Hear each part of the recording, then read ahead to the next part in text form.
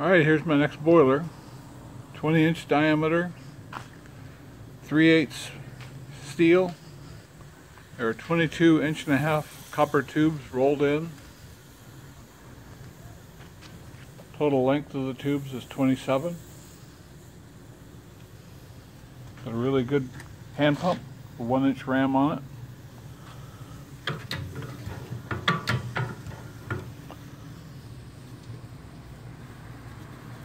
This is the airlock valve. When you've got water coming out of that, you know that the pump is primed. You always want to drain this pump in the winter as well, because it could freeze. Uh, this is a uh, water in, just clip on a hose, and then I use it for drain and blow down.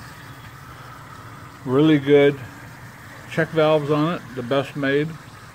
Don't have any problems with it. Really nice sight glass, tricocks.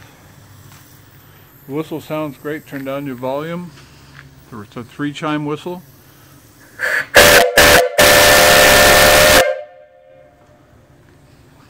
Beautiful gauge here. Pop-off valve on this one set at 110 I think. I will remove this valve once I know that that pop-off valve works properly. Sometimes when I get them they don't. And I'll probably remove this valve as well because this whistle is great. And engine out is in the back, all half inch. The base is 24 by 24 and the firebox itself is 22 square. Ash pan right here. Big firebox with a lot of wood. I'll turn on the blower.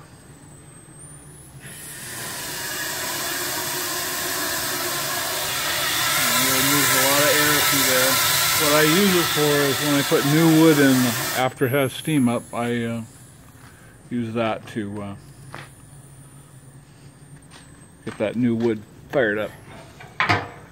This handle's great. It doesn't get hot at all.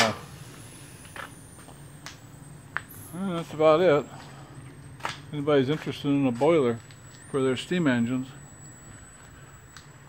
this is it. Give me a call 206 948 0770. My name is Ross. Call me anytime. A West Coast time. I've uh, I've got probably over a hundred of them out now. Different sizes. This is the biggest I make. Thanks a lot for watching.